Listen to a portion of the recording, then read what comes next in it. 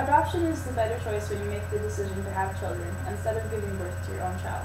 While the practice of adoption has been around for millennia, the recent history of adoption in the United States can be tracked to the 1850s, with the passage of the first modern adoption law in Massachusetts. While the practice of adoption has been around for 200 years um, in the U.S., the stereotypes and biased opinions of adoption have far outgrown that number. Many Americans continue to believe that adopting could not give you the real family that you want. Many Americans still believe that the only way to have a real family is to have children naturally through pregnancy and childbirth. This could not be further from the truth. Adoption has many facets and touches uh, people in different ways, depending on the role and perspective. Adoption is a lifelong process for everyone involved, with significant emotional and legal impacts. Adoption has evolved in many, way, many ways over the years making it more and more acceptable in society. Today, rather than it being a dark family secret, adopted children celebrate their adoption story. They grow up knowing uh, how special adoption is and what a beautiful gift they were given by their from their birth parents. While they may have questions about their birth parents and where they came from, they grow up knowing that adoption is a very loving decision and is one to be proud of. As with every individual family, some unique uh, issues come, may come into play with adopting a child. The classic Seven Core Issues in Adoption, published in the early 1980s, outlines seven lifelong issues experienced by all members of the adoption uh, of the adoption community: loss, rejection, guilt, shame, grief, identity, intimacy, and control.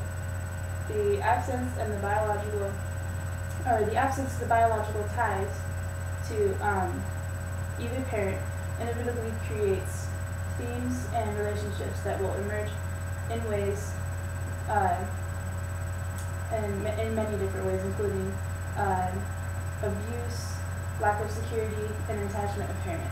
However, many of these issues go away on their own as soon as a child is given a loving home and a family to, lo- to live with. The foundation of most emotional issues is, uh, is just having someone there to lean on and the someone uh, new to provide that position, and uh, any other issues um, become much easier to work through. Adoption is a process in which children become full and permanent legal members of another family. Determining eligibility to adopt is based on a process of mutual assessment and preparation by the prospective adoptive parents and social worker or agency, called a home study. Most people are eligible to adopt regardless of marital status, age, um, income, or sexual orientation. Having a disability does not automatically disqualify a prospective adoptive parent. Some foreign countries may have specific requirements and restrictions for families who want to adopt from those countries.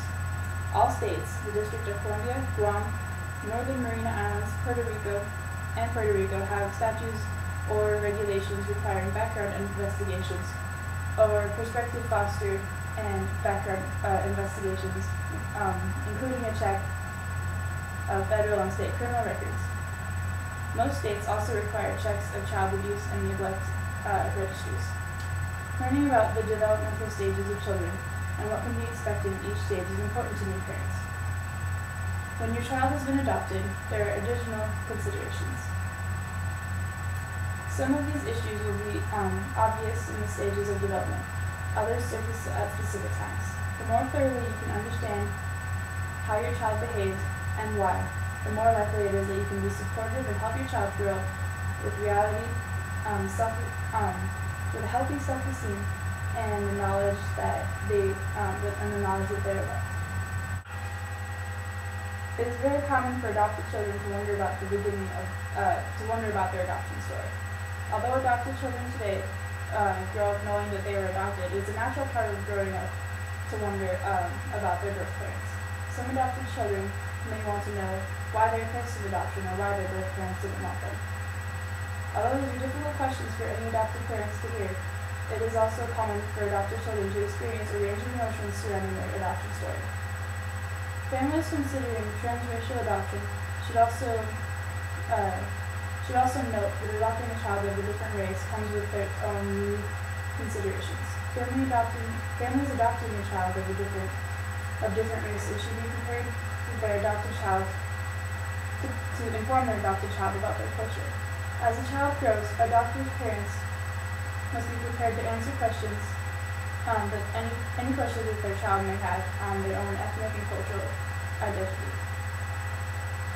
When people think about adoption, they envision an opposed adoption in which uh, placement in which placement of the child is only to one set of parents and not to the birth parents. However, in the early 1980s, adoption, adoption began to shift toward a more openness. Today, some people um, today some people believe closed adoptions to be safer, mainly because they believe that um, birth parents may try and bring may try and come back to get their to get their child, as we've seen in movies and media. This is this normally does not happen. However, many there are many closed adoptions still today. Another option, another form of adoption is semi-open adoption, where the birth parents still have some contact with the child through emails and pictures, but um, they rarely see the child face to face. An open adoption is where the birth parents um, regularly see the child either through uh, either, either through uh, face-to-face visits or uh, emails and phone calls. Um, pictures uh, of the birth, pictures of the child are often sent to the birth parents after the uh, child has been safely adopted. And in the closed adoption, that is the only contact they'll have with the child for the rest of their life. In 2010, there were 11,058 adoptions in which children were brought to the U.S. from another country. 61 adoptions took place in Idaho. Although there are um, although there are a whole new set of rules um, to adopting, and taking care of children. Taking care of them um, is just as rewarding as having your own child, particularly international adoptions, as well as U.S. adoptions. There's nothing more rewarding than knowing that you helped a child come out of poverty or come out of uh, any hardships that they were facing and helping them to lead a better life with better opportunities. Reward an innocent child and reward yourself.